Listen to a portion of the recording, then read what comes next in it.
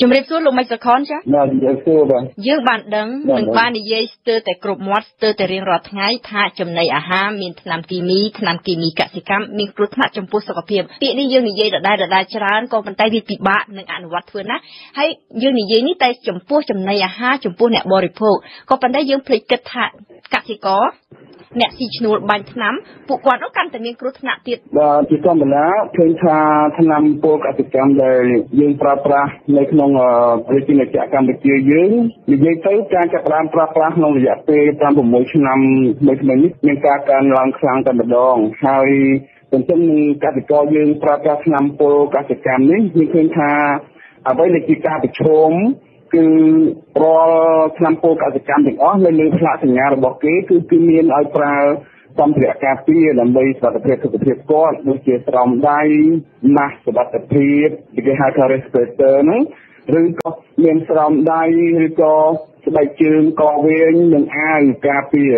តែទន្ទឹមនឹងនោះរូបភាពផ្លាកសញ្ញាទាំងអស់ហ្នឹងជួនកាលវាដាក់ជាសញ្ញាតូចតូចហើយធ្វើឲ្យកសិករយើងមិនសូវបានចាប់អារម្មណ៍ចំណុចមួយទៀតការមើលឃើញតតគ្នាពីមុនមកដូចចាស់ចាស់ពីមុនមកគាត់ប្រើថ្នាំកសិកម្មហ្នឹងក៏មានសម្ភារៈអ្វីការពារទេដល់អញ្ចឹងទៅក្មេងជំនាន់ក្រោយគេទៅធ្វើតាមដល់អញ្ចឹងហើយវាមានផលប៉ះពាល់ខ្លាំងមែនទែនសម្រាប់សុខភាពរបស់គាត់ហើយឆ្នាំសម័យបច្ចុប្បន្ននេះយើងឃើញថាមានផលប៉ះពាល់ខ្លាំង ចឹងហើយដែលជាចំណុចមួយដែលយើងធ្វើឲ្យយើងមានការកង្វល់ទាំងអស់គ្នាហើយនេះជាបទពិសោធន៍ខ្ញុំដែលខ្ញុំចូលតាមដំណើរខណ្ឌខ្ញុំមើលឃើញបាទលោកមានប្រសាសន៍ថាថ្នាំគីមីថ្នាំពុលសម័យបច្ចុប្បន្នហ្នឹងគឺពុលជាងថ្នាំសម័យមុនមុនទៀតថាតើការពុលហ្នឹងគឺបង្កឲ្យមានគ្រោះថ្នាក់អ្វីជាក់ស្ដែងខ្លះទៅយ៉ា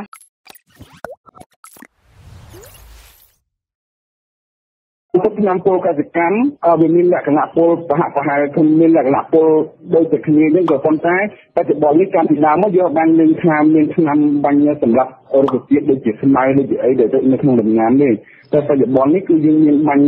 ឆ្នាំបាទឆ្នាំសម្រាប់បាញ់សម្រាប់ស្មៅនៅអីជាដើមអញ្ចឹងអញ្ចឹងឃើញថាពពួកយើងគិតថាសម្បូរទៅរុក្ខជាតិ ក៏វាអាចសម្រាប់បានគឺសម្រាំ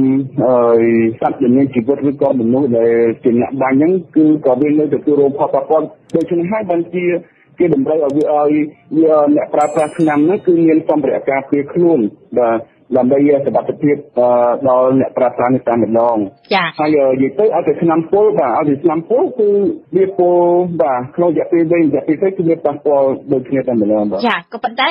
ចំពោះកសិករម្នាក់ខ្ញុំសូមលើកឧទាហរណ៍បើសិនជាគាត់ជាអ្នកបាញ់គាត់ពាក់ម៉ាស់គាត់ពាក់មួកគាត់ពាក់ស្រោមដៃគាត់ពាក់អាវកវែងស្បែកជើងអីគ្រប់មុខការពារអស់ទៅហើយអ្នកទៅបាញ់គាត់ពាក់ការពារមែនក៏ប៉ុន្តែអ្នកដែលរស់នៅជុំវិញថាតើពួកគាត់អាចទទួលផលប៉ះពាល់ដែរឬទេបាទករណីជាក់ស្ដែងនៅនៅ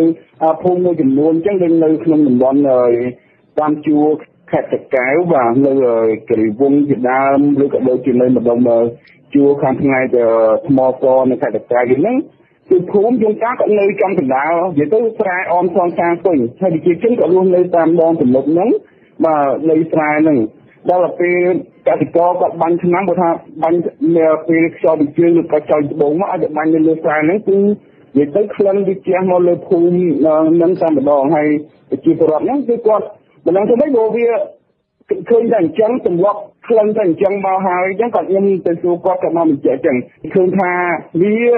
ពិបាកនឹងរកវិធីណាការពារពីព្រោះវាអត់មានសម្ភារៈអីគ្រប់គ្រាន់ដើម្បីឲ្យគាត់ដើម្បីការពារត្រៀមខ្លួននៅពពួកក្លិនទាំងអស់ហ្នឹងដែលកសិករមួយចំនួនដែលបានប្រើប្រាស់នៅវាស្រែជំនុំភូមិហ្នឹងណា ក៏ប៉ុន្តែលោកអាចខ្ញុំបានថាបើសិនជាពួកគាត់ដែលនៅក្រោមខ្យល់គាត់ច្បាស់ជាទទួលរងផលប៉ះពាល់ដល់សុខភាពដោយដែលអ្នកដែលអត់បានការពារដែរបាទជាធម្មតាគឺវាទៅទៅទទួលរងទទួលរងផលប៉ះពាល់បាទដូចគ្នាបាទនិយាយទៅឲ្យតែអ្នកនៅក្នុងបរិវេណដែលមានពពួកក្លិនឬក៏សារជាតិនឹងខ្សែភេទដល់សុទ្ធតែរងប៉ះពាល់ទៅជាការសុទ្ធតែប៉ះពាល់ទាំងអស់បាទចាចាសូមអរគុណហើយយើងនៅភ្លេចករណីមួយទៀតគឺអ្នកលក់និងអ្នកជំនួញ ពួកគាត់មិនបានប្រើមិនបានបាញ់មែនក៏ប៉ុន្តែគាត់រស់នៅជាមួយនឹងថ្នាំគីមីនេះបាទនេះគឺជារឿងជាក់ស្ដែងបាទបច្ចុប្បន្នយើងឃើញតាមដេប៉ូលក់ថ្នាំកសិកម្មថ្នាំពលកសិកម្មរបស់យើងនេះគឺភាគច្រើនក៏លក់នៅតាមលំនៅឋានបាទលក់នៅតាមផ្សារហើយគាត់រស់នៅទីហ្នឹងបាទហើយគាត់និយាយទៅ24ម៉ោងនៅក្នុងបរិវេណនៃឆ្នាំដែលគាត់តាំងបង្ហាញភ្នែករបស់គាត់ហ្នឹង មានមិនទាន់ថាចាស់ចាស់ទេសូម្បីតែកូនក្មេងដែលជាកូនជាចៅរបស់គាត់ក៏រស់នៅក្នុងបរិស្ថានយ៉ាងហ្នឹងដែរដូច្នេះហើយខ្ញុំគិតថាតាមជំនាញរបស់ខ្ញុំវាគឺជារឿងមួយប៉ះពាល់ដល់ធនធានជាពិសេសកុមារគឺថាពេលបរិយាកាសចរន្តឡើងទៅគឺក្លិនរបស់វាធនធានទៅហើយមានទៀនគឺចម្រោះបាទព្រោះឆ្នាំ តាមដេប៉ូមួយមួយឬក៏ឆ្នាំតាមស្តង់មួយមួយនេះគឺវាមានច្រើនមុខច្រើនម៉ាក់ណាបាទយើងមិនដឹងថាវាមានប្រភេទអ្វីខ្លះហើយខ្លះមុខវាគឺច្បងច្បងមែនទេបាទប៉ុន្តែខ្ញុំជឿជាក់ថានៅក្នុងករណីដូចជាគាត់អ្នកលក់ហ្នឹងប្រហែលជាមធ្យោបាយការពារមានច្រើនជាងជាធម្មតាគឺគាត់មានឱកាសការពារច្រើនជាងកសិកររបស់យើងព្រោះគាត់នៅកន្លែងដែលមានស៊ីសាំងស្អាត មិនមានការប៉ះទង្គិចពីគឺក៏ដើរក្នុងភក់ឬក៏ដើរក្នុងជីវិតតាមដំណាំអីប៉ុន្តែគាត់តែងតែគាត់គិតថាគាត់អត់ប្រើផ្ទាល់ផងកសិករទីដែលអ្នកប្រើផ្ទាល់អញ្ចឹងគាត់មិនធ្វើចាប់អារម្មណ៍ទេតែទីពិតទៅគឺកសិករគេប្រើការប្រើបាញ់ថ្នាំនេះក្នុងរយៈពេលតែ1ម៉ោងឬក៏2ម៉ោងជាងអីទៅប៉ុណ្ណឹងឯងហើយគេយកសារជាតិយកសារជាតិហ្នឹងទុកនៅខាងក្រៅផ្ទះហើយឬក៏កន្លែងណាលើឆ្ងាយពីផ្ទះឆ្ងាយដាច់កូនក្មេងតែចំណែកពួកគាត់ជាអាជីវករជាពាណិជ្ជករ ដែលមានដែលលក់ប្រកបមុខរបរលក់ថ្នាំពេទ្យកសិកម្មហ្នឹងគឺគាត់ទៅភាគច្រើនគឺផ្ទះជាក្នុងក្នុងផ្ទះសម្បែងរបស់គាត់តែម្ដងអញ្ចឹងខ្ញុំគិតថាក្នុងរយៈពេលដែលគាត់រស់នៅហ្នឹងគឺបើគិតកណនីយើងកណនីតាមគិតចំនួនម៉ោងចំនួនពេលវេលាវិញគាត់នៅដឹកជាប់ជាមួយនឹងឆ្នាំពលកសិកម្មច្រើនជាងកសិករ ដែលប្រើប្រាស់ទៅទៀតចាចាថាវិធីការពារនោះគឺអ្វីទៅបាទដល់ចំពោះខ្ញុំវិញវិធីការពារចំពោះមនុស្សចាស់គាត់គួរតែមានពាក់មានស្រោមដៃមានម៉ាស់ទំនើបដើម្បីមិនមែនជាម៉ាស់ធម្មតាមិនមែនគ្រាន់តែជាម៉ាស់កណាត់បិទនោះគ្រប់គ្រាន់ទេបាទបាទបាទមិនមែនជាម៉ាស់ប្រភេទកណាត់អស់ហ្នឹងទេគឺជាម៉ាស់ទំនើបមួយយ៉ាងដែលគេសម្រាប់ការពារឆ្នាំពុលសារជាតិឆ្នាំពុលតែម្ដងហើយមួយទៀតហ្នឹងគឺគួរតែមានពាក់ស្រោមដៃហើយនឹង បើអាចទៅមកគឺមានសម្លៀកបំពាក់ណាដែលធ្វើពីសារទៅធ្វើពីជាតិផ្លាស្ទិកហ្នឹងដើម្បីទប់ទល់ជាមួយនឹងការប៉ះពាល់ពីព្រោះអាហ្នឹងវាអាចជ្រាបចូលតាមស្បែកជ្រាបចូលតាមផ្លូវដង្ហើមជ្រាបចូលតាមមាត់ហើយពេលដៃប្រឡាក់អីហ្នឹងបាទអាចនេះដែរហើយមួយទៀតហ្នឹងវិធីការពារមួយទៀតហ្នឹងគឺគាត់គួរតែយល់ដឹងថាកូនចៅរបស់គាត់តំបន់អស់នេះតំបន់អាជីវកម្មរបស់គាត់នោះមិនគួរមានក្មេងៗដែលជាសាច់ញាតិដែលជាកូនចៅរបស់គាត់នៅជាមួយនឹងមិនគួរនៅក្បែរបាទ សន្តិជាតិអត់តំណែងទេគាត់គួរតែបញ្ជូនទៅឲ្យឆ្ងាយពីព្រោះយើងមិនដឹងថាក្មេងៗគ្នានឹងទទួលរងផលប៉ះពាល់អ្វីទេពីព្រោះវាជាសន្តិជាតិគីមីម្យ៉ាងដែលយើងគិតថាវាជាថ្នាំពុលបាទចាចាចំពោះអ្នកដែលជាអាជីវករអ្នកដែលរស់នៅក្នុងផ្ទះក្នុងលំនៅឋានដែលគាត់ជាអ្នកអាជីវករអញ្ចឹងវាស្រួលការពារមែនហើយដោយលោកមានប្រសាសន៍អំបញ្ញមិញអញ្ចឹងវាមានវិធីដោះស្រាយគឺថាធ្វើយ៉ាងម៉េចយើងបិទគប់របស់ថ្នាំពុលនោះឲ្យនៅដាច់ដោយឡែកកុំឲ្យចេញផ្សាយភីមកប៉ះបន្តិចនៅខាងក្រៅ នឹងការដកដង្ហើមរបស់យើងក៏ប៉ុន្តែចំពោះកសិករវិញថាតើពួកគាត់ត្រូវធ្វើដូចដូចម្ដេចដើម្បីអាចកាត់បន្ថយចាបើចំពោះកសិករភាគច្រើនគឺគាត់អឺទៅប្រតិបត្តិការឆ្នាំជំនាញទៅបាញ់ឆ្នាំអីអីចឹងបាទគាត់គួរតែមានសម្ភារៈ kia បាទពីព្រោះជាធម្មតាទម្លាប់របស់គាត់អ្វីដែលខ្ញុំបានជួបប្រទះគាត់និយាយថា អត់ចេះពាក់ស្រោមដៃអត់ចេះពាក់ស្បែកជើងកវាងអត់ពាក់អីចឹងថាវាថប់អឺអត់ចេះពាក់ម៉ាស់អត់ចេះពាក់របាំងមុខចឹងព្រោះទម្លាប់របស់គាត់គាត់ថាវាចូលមកតែអញ្ចឹងពេលបាញ់ដល់ណាក៏ចូលទៅរហូតមកចឹងពេលគាត់ថាប្រើសម្ភារៈសុវត្ថិភាពអត់ចេះប្រើទេក៏ប៉ុន្តែបើចំពោះខ្ញុំដែលជាអ្នកជំនាញវិញខ្ញុំគិតថាវាមិនសម្ភារៈសុវត្ថិភាពទាំងអស់វាមិនស្ងាយស្រួលដោយអាចំណុះទៅទេខ្លួនទៅទេទេក៏ប៉ុន្តែយើងទាំងអស់គ្នាត្រូវតែដឹងថាពេលដែលប្រើ ប្រាស់ឆ្នាំអស់ទាំងហ្នឹងគឺតែមានកាតព្វកិច្ចបំពេញថាទៅតែមានម៉ាស់ទៅតែមានស្រោមដៃទៅតែមានអាយការពារឬក៏បើជើងកវិញនេះដើម្បីកុំឲ្យសារជាតិហ្នឹងមកប៉ះពាល់លើខ្លួនប្រាណបានហើយចំណុចមួយទៀតហ្នឹងពេលដែលប្រើប្រាស់ឆ្នាំពលកសិកម្មហ្នឹងខ្ញុំលើកទឹកចិត្តបាទគួរតែកុំទៅតែម្នាក់ឯងហើយភាគច្រើនគាត់ទៅបាញ់ទៅអីតែម្នាក់ឯងទេចឹងនិយាយចឹងណាគួរតែទៅមានគ្នាពីរនាក់មានគ្នាអីបើមិនជាមានបញ្ហាអីអាចយើងអាចគ្រោះគ្នាទៅវិញទៅមកបានចឹងណាចាចាជាទូទៅតើតើលោកណែនាំឲ្យកសិករយើងគាត់ស្លៀកបំពាក់ការពារនឹងហើយនៅបាញ់ប្រើថ្នាំនឹងរយៈពេលប្រហែលម៉ោងដែលយើងមិនសូវបង្កគ្រោះថ្នាក់ខ្លាំងពេកចាបាទអើយការជ្រើសរើសពេលវេលាបាញ់គឺវាមានសារៈសំខាន់សម្រាប់សុខភាពផងដែរអ្នកខ្លះទៅ បាទឆ្លៀតពេលវេលាជំនាញថ្ងៃអាទិត្យបាញ់ថ្ងៃអាទិត្យតែម្ដងអញ្ចឹងអាកាសធាតុខ្ញុំក៏វាក្តៅដូចជាឆ្នាំមួយចំនួនគឺអ្នកណែនាំថាឲ្យបាញ់នៅពេលថ្ងៃក្តៅតែម្ដងចឹងយើងដឹងខ្លួនយើងថាការបាញ់ថ្ងៃក្តៅនេះបាទចូលទៅចំហាយហើយជាមួយជាមួយនឹងសារជាតិអស់ចំណងចឹងវាទៅជាមួយបរិយាកាសខាងក្រៅក្តៅគឺវាសាយភីខ្លាំងណាចាវាសាយភីខ្លាំងសម្រាប់ខ្លួនគាត់ហ្មងបាទអញ្ចឹងគឺគាត់ក៏បាញ់នឹងចំពេលថ្ងៃត្រង់តែម្ដងហើយពេលដែលបានបាញ់ហើយជាពិសេស អ្នកដែលទីឈ្មោះបានខាងគឺគាត់គិតតែពីរឿងជាធម្មតាបាទគាត់ចង់បានលុយចាគាត់ត្រូវតែខ្លាំងធ្វើការចាថវិកាបានបាទត្រូវការថវិកាដល់អញ្ចឹងទៅគាត់តែធ្វើអ្វីអត់ពេលវេលាខ្លួនឯងទេទោះថាមានលក្ខណៈអស់កម្លាំងដែរចេះនិយាយថាពីបុណ្យមកអញបានយូរសិនអីអីផងអញ្ចឹងពេលនេះអញ្ចឹងបានមិនឲ្យបានលុយច្រើនប៉ុន្តែគាត់អត់ដឹងថាបញ្ហាប្រឈមនៅខាងមុខគឺគ្មាននរណាមើលឃើញសម្រាប់ខ្លួនគាត់ជាមួយនៅឆ្នាំពល